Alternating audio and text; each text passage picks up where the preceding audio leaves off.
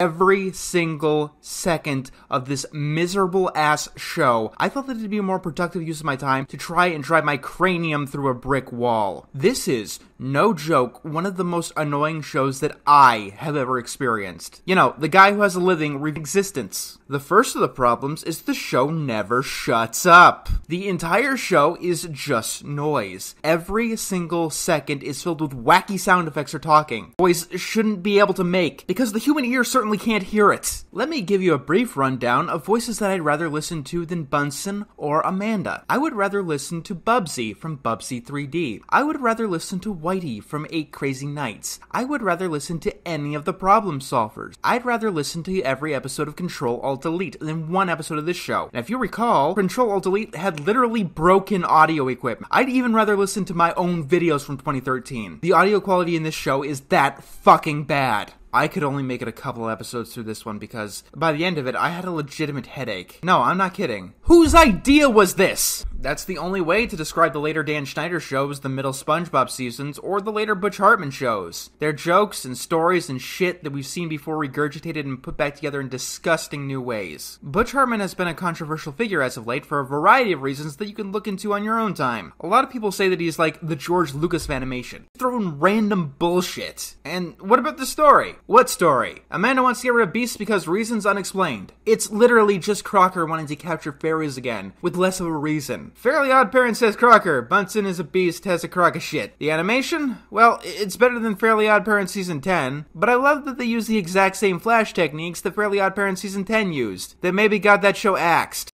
And yeah, I do sound a little bit pissed, but I live in a world where people are supposed to get better with skills and age. And what I'm seeing is someone who is well respected and basically tenured giving kids random pandering shit without a single thought for quality control. A complete lack of originality from a creator who has been out of ideas for over a decade now. Even Bunsen's design is unoriginal. This is your monster? Just a random fuzzy thing with a big mouth? It looks like Dr. Seuss tried drawing where the wild things are. I've seen this before. Even if I hadn't, Big Mouth has a better looking beast than yours. And that's one of the worst shows that I've ever seen. Why does Bunsen's voice sound like that? I legitimately want to know. What was the process of determining this creature's voice? Who sat there and said that this was okay?